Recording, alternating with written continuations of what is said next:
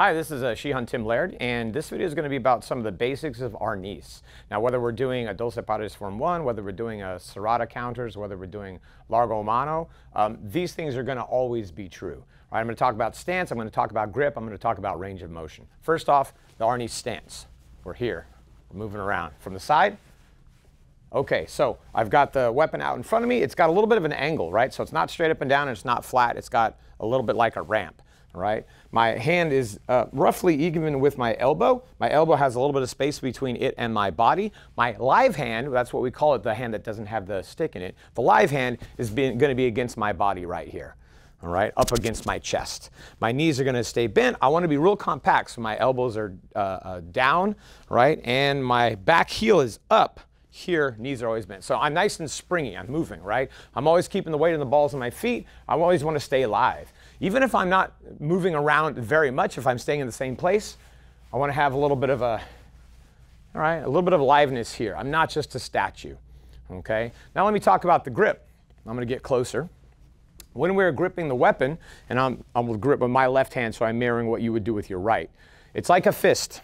Remember when we make a fist, the thumb is on the outside, right? We don't make a fist like this, and we don't make a fist like this, right? That's a fist. When I grip the weapon, I'm making a fist in the same way. So all four of the fingers are gripped tightly around the handle. The thumb is going to come over the first and maybe a little bit of the second finger, right? So it's nice and tight here. It's important that I keep a tight grip on this weapon in an actual fight because as soon as I lose my grip, then I have pretty much lost that fight, right? So I need to keep this nice tight grip. Now we need to keep a little bit of the handle down here under my hand. I shouldn't hold it all the way at the end. That's too close to being able to slip out, right? If I hold it too high, then I'm, uh, this is gonna start to get in the way. It becomes a liability. So I need to leave about an inch or an inch and a half of space underneath that fist. So that's the stance, that's the grip. Now I'm gonna talk about range of motion. We have five basic strikes in arnis.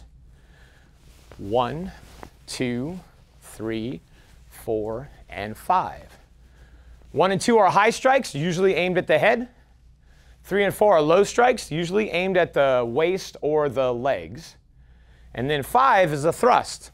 Right, it's a straight thrust or a poke, if you will, generally aimed at this, uh, the middle of the body. Now, it's important that we understand that we need full range of motions on these strikes, and we need to be able to target accurately. So, full range of motions means I never, I don't stop here. I go all the way through. There's the center line, or where I imagine my target is, and the weapon just keeps moving all the way through all the way through.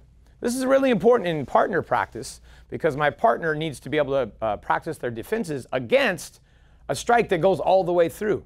It doesn't stop, right? Because I'm anticipating contact, I need to go all the way through. And again, accurate targeting. Now, uh, Rinchi McCurdy is going to come help me out for just a second. So, Rinchi, go ahead and get in your stance, all right?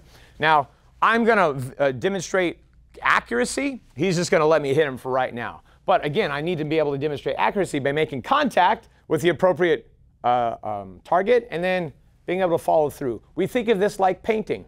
Like I dip my paintbrush in a little bucket of paint and I'm just painting a line somewhere along Sensei's head or sometimes we aim at the neck area as well.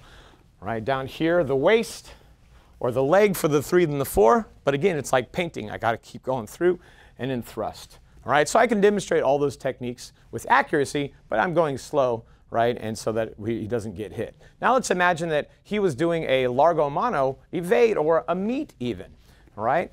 If I go like this and I stop, then that sort of doesn't allow him to do the technique correctly. So I've got to do my job as the bad guy when we're practicing together, and I do have to completely follow through on those strikes. If he was doing a serrada, right, he's going to have to move in and he's stopping me from following through by doing the defense correctly.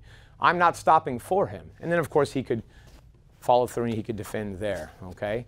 If he didn't quite do the defense correctly, he didn't get deep enough perhaps, or if he, he forgot his check hand, right, my stick would probably keep moving, and that's good. That's how he knows that he has something to fix, and that's me doing the right thing as far as range of motion goes. Thanks for that little demonstration, Rinchi. So again, the stance, right?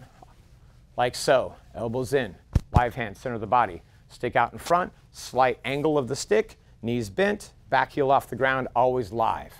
All right, the grip, like a fist out on the end of the weapon. All four fingers wrapped around, thumb covering over there just like a fist, inch or inch and a half of handle down there below the fist. All right, and full range of motion. Every time you strike, think about accurate uh, targeting, know what you're aiming at, and follow through. Those are the Arnis basics.